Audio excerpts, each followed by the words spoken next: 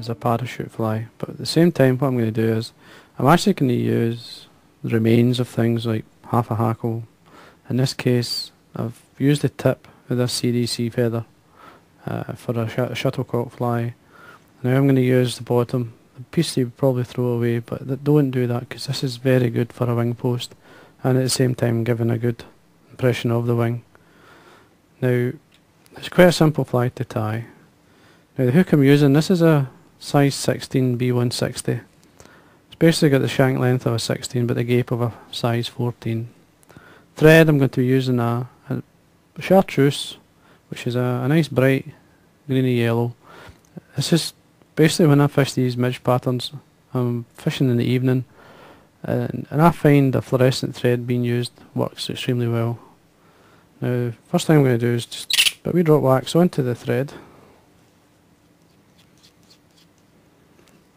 And start at the eye. I'm going to come down about halfway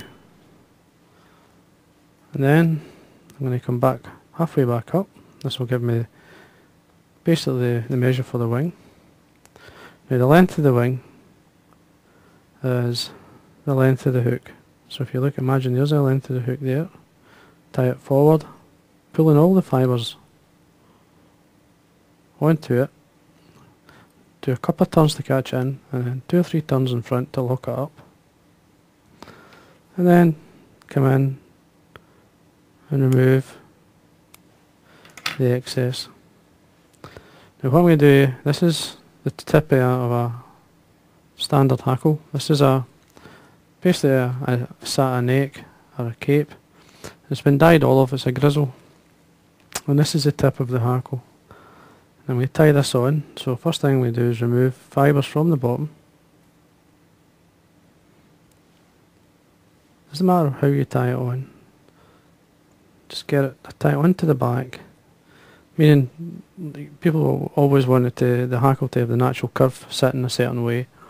To me, it doesn't doesn't really matter on this fly. It doesn't matter really in any fly because as long as you, when you do the parachute, spreads the fibre, it'll sit anyway.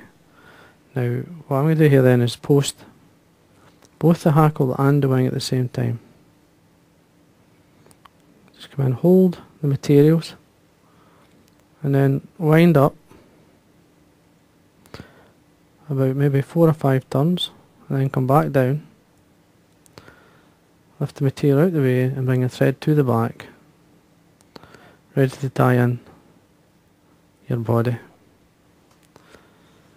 now what I'm going to do here is going to remove the length of the ultra chenille there we are the length of the body I'm looking for is the length of the hook which will go over the back. I'm just going to slightly taper I'm going to cut it so that I taper the the chenille. Suede chenille is quite quite thick and uh, want to try and remove some of the excess bulk. Catch this on the top.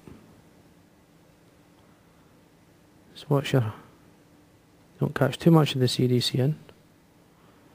And then nice and tight. Now I've waxed the thread so they'll get plenty of grip. Just check the length. That looks okay. Nice and tight. I'm just going to take the thread down just to try and balance the thread turns a bit. There we are. Now, put a tiny bit of dubbing in. Now I'm just going to use a, a natural dubbing, and this is Fox Squirrel. You only need a, a wee drop, you don't need a lot. Dub it onto your thread. And basically what you're doing is forming a small thorax. It doesn't have to be perfect, I'm not doing it perfect, I'm just covering the area. That's maybe too much. Lift your, winding your hackle out the way, take away your excess. And then form your parachute. Now I can do it by hand or you can use a small pair of hackle pliers. Now that, because I've actually taken the hackle up, with up, posted both the hackle and the wing, I've taken bringing the hackle up, posting it, I'm going to bring it back down so when I do a turn, the next one should be underneath. And so on, working your way down. Just take your time.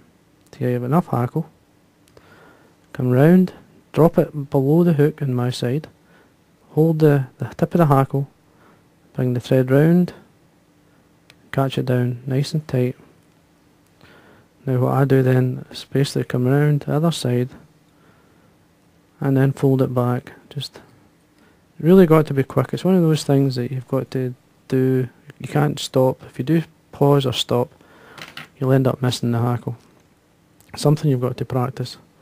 Now put a wee bit of wax on. Now what I'm going to do is rub my fingers onto the thread to take away the excess. And then so you either use some varnish or in my case I'm using some super glue here on the first centimetre or so and then come in and whip finish? One, two, three. A bit of fluff there. Take it out of the way. Pull and hold and trim away your thread. And there we are. And that there's a small parachute midge. Now it's, it's a great wee pattern. I would certainly tie in all the colours. Uh, whatever colour uh, the chenille you have, the ultra chenille, try it. And it'll work in the rivers as much as it'll work in the in the lochs.